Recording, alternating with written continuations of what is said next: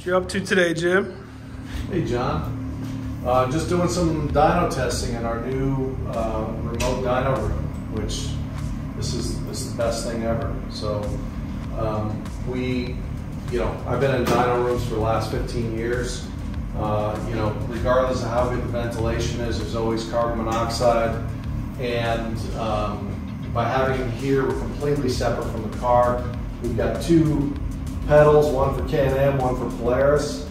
So we can on either vehicle here. I can do all my monitoring, data logging, and uh, remote tuning. So this is the best thing ever. I can't believe we waited this long to uh, to set this up this way.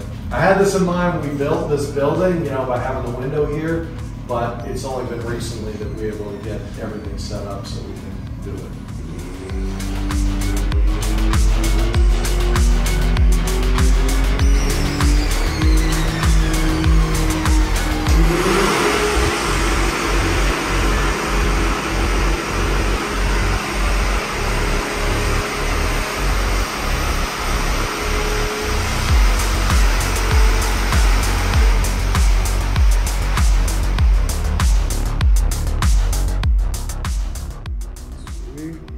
Another cool thing about us doing the, the remote dyno work in here versus inside the car is, you know, when you deal with high horsepower uh, engines, I mean, things happen. We've had clutches fly off the car. We've had um, we've had a couple engines break, and you know, it's like a hand grenade going off in the back, and it's only a matter of time until you know someone gets hurt.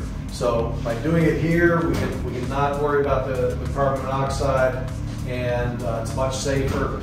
And having you know this setup with all of our, you know, I can do uh, my tuning from here. I can do, uh, I can monitor everything from here.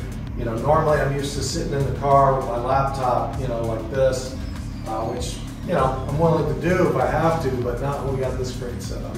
And this gives you access to both the main line and the Dynojet, correct? Yeah. So if we want to, excuse me, if we want to go to the mainline dyno. You know, it's basically just another uh, login. You know, so we go. Oh. So now we got the main line uh, from here as well.